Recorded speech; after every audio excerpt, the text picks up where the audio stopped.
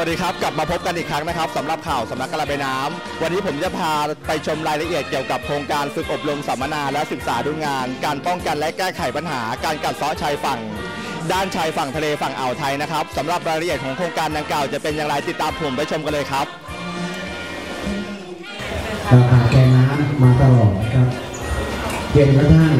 เราได้มีโอกาสเข้าไปเรียนรู้ว่าจัดการน้ำโดยชุมชน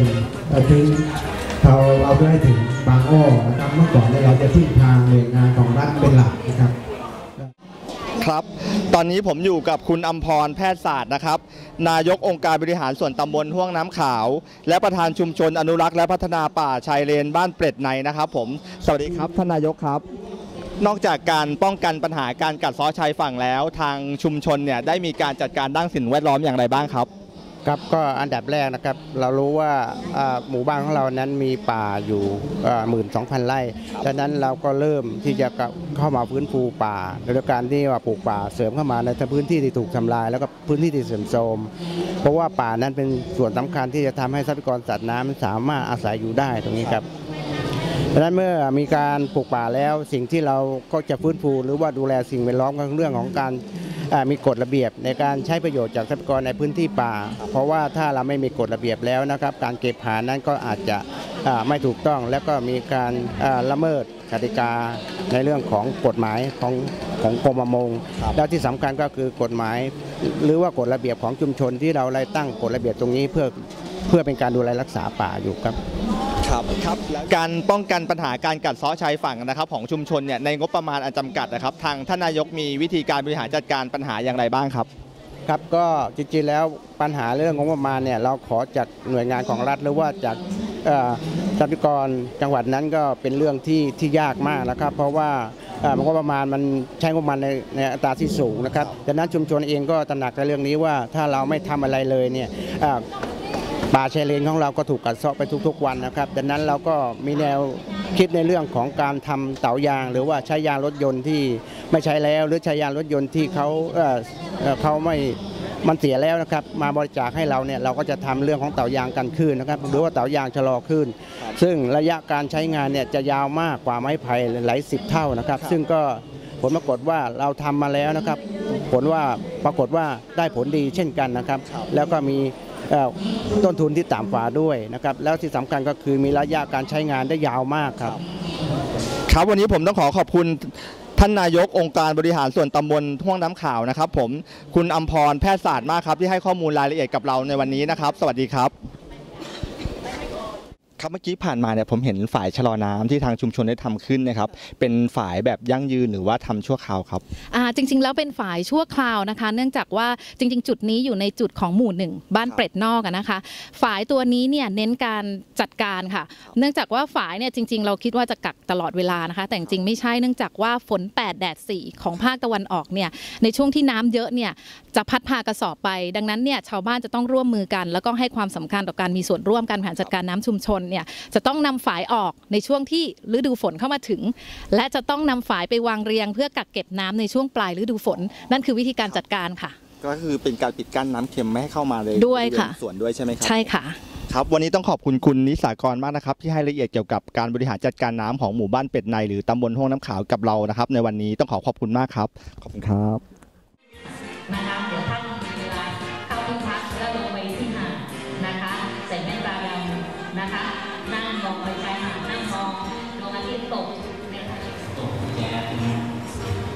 ก่อนเนี่ยผมก็เคยไปเจอห้องเหยียบเลยครับเพราะว่ามันมีมันมีน้ำเปล่าแล้วก็มีถึ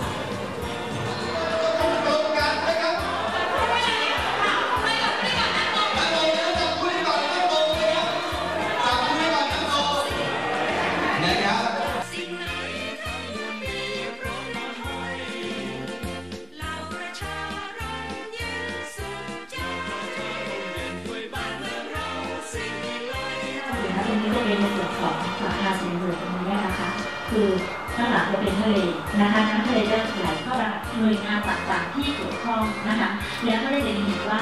พื้นที่ตำบลเราเนื่องจากว่าสภาพพื้นที่ที่ปราวมาเนี่ยแทบจะไม่เหลือเลยนะคะโดยเฉพาะที่อ่าวคุ้งกระเบนแห่งนี้เนี่ย ทางศูนย์ของเราก็ได้ส่งเสริมให้เกษตรกรนะคะ โดยเฉพาะส่งเสริมทางด้านการเกษตรครับนะคะ การเกษตรการประมงนะคะ เราจะมุ่งเน้นทางด้านนี้ แล้วก็โดยเฉพาะนะคะเรื่องการอนุรักษ์ครับผมนะคะเอ่อก็จะเป็น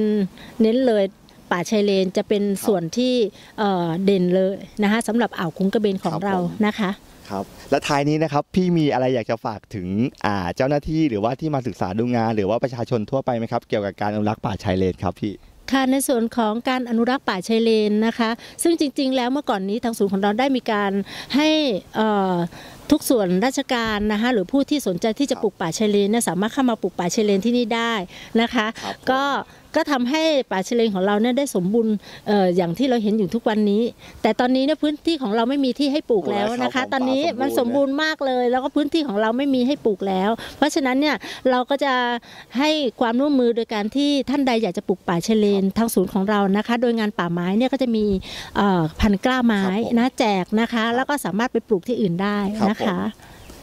ท้ายนี้นะครับผมต้องขอบคุณพี่ศิลารัตน์มากนะครับที่มาให้ความรู้ต่างๆ เกี่ยวกับโครงการนะครับ ขอขอบคุณครับพี่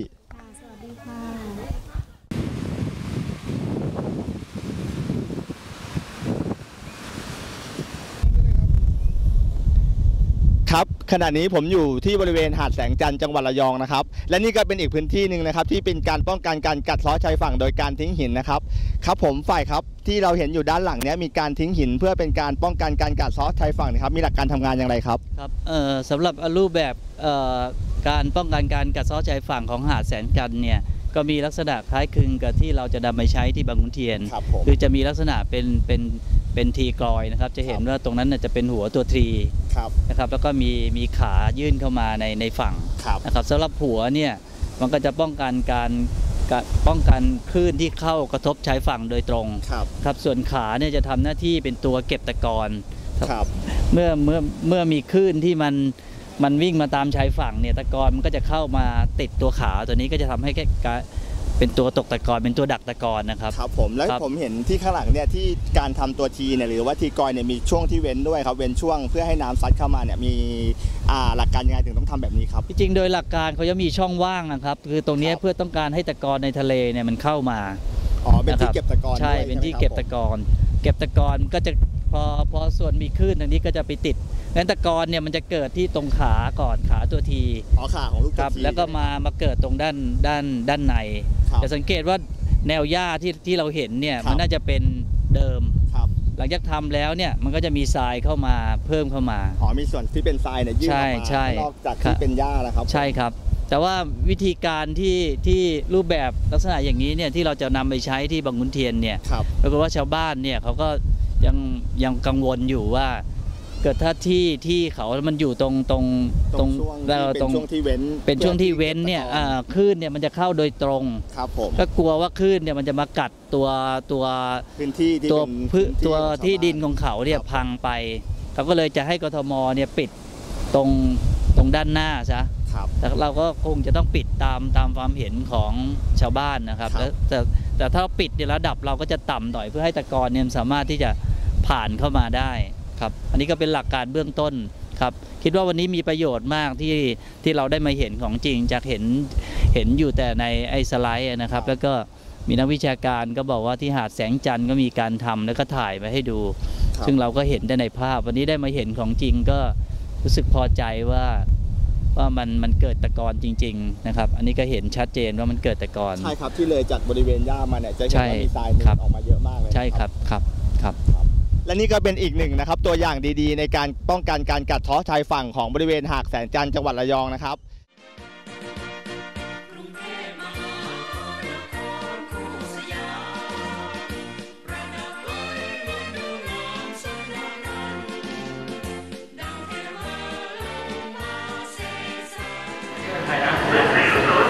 ก็เป็นความ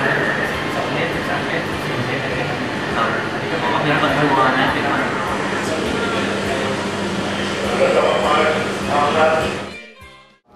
ต อนนี้ผมอยู่กับหัวหน้ากลุ่มงานพัฒนาระบบระบายน้ำสามของกองพัฒนาระบบหลักสำนักระบายน้ำนะครับผม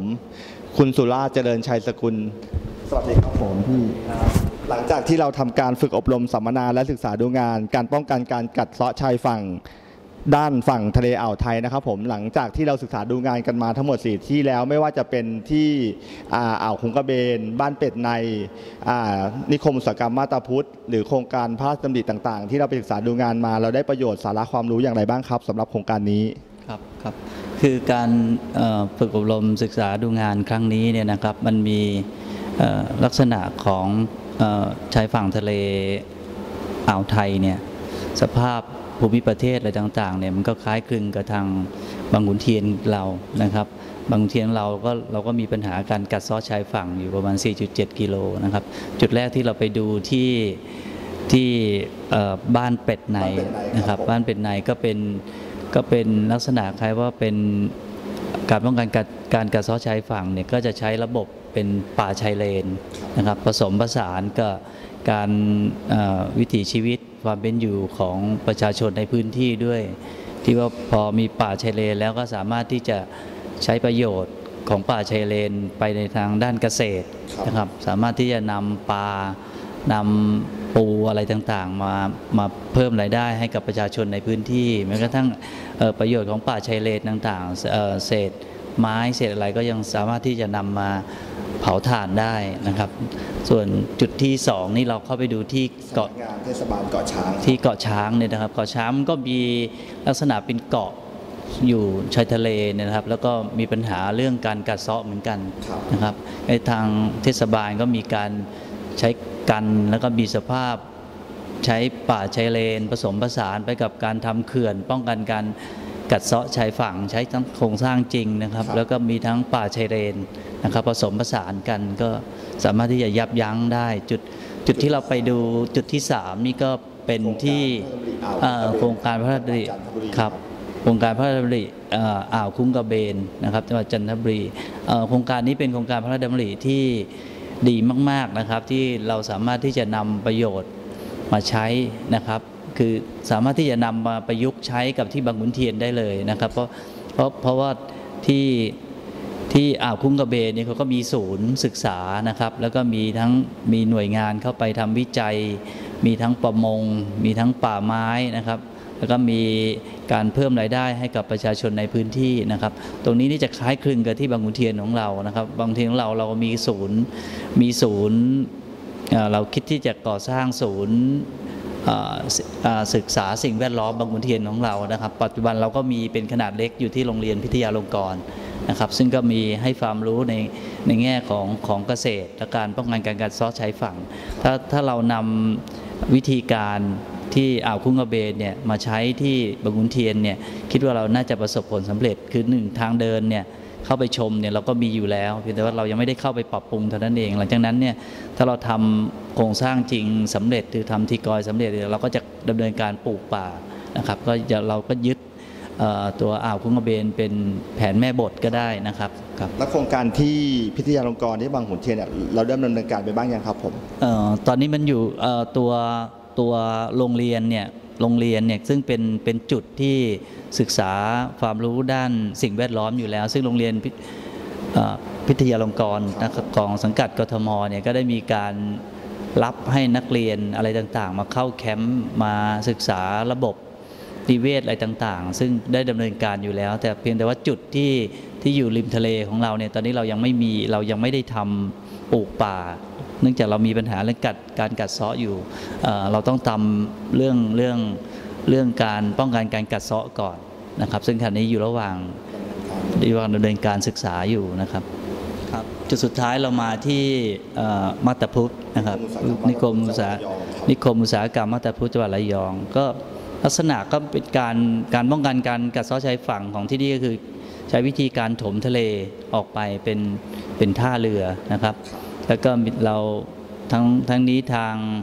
ทางกรมเจ้าท่านะก็ให้ความอนุเคราะห์เราได้ทางทางนิการนิคมอุตสาหกรรมก็ได้นำเจ้าหน้าที่ของเรามาดูการนำร่องนะครับเรือเข้าระบบอ่อเขาเรียก traffic น่าจะเรียกว่าระบบ ควบคุมการนำเรือเข้าจอดนะครับ ก็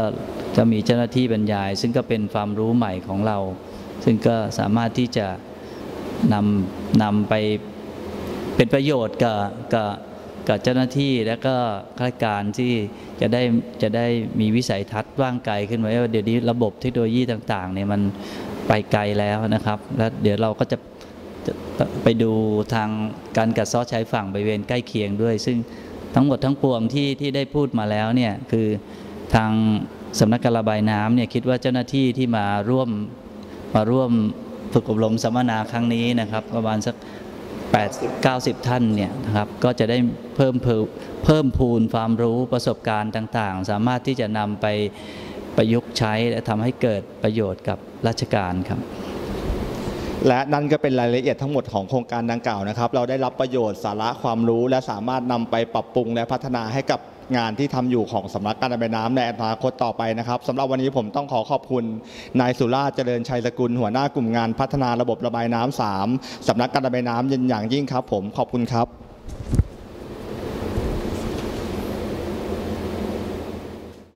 ครับและทั้งหมดนี้ก็เป็นรายละเอียดต่างๆ ของโครงการฝึกอบรมสัมมนาและศึกษาดูงาน การป้องกันและแก้ไขปัญหาการกัดเซาะชายฝั่งของชายฝั่งทะเลด้านตะวันออกนะครับ แล้วกลับมาพบกับโครงการดีๆ แบบนี้ใหม่ของสำนักกระบายน้ำในโอกาสต่อไปสำหรับวันนี้สวัสดีครับ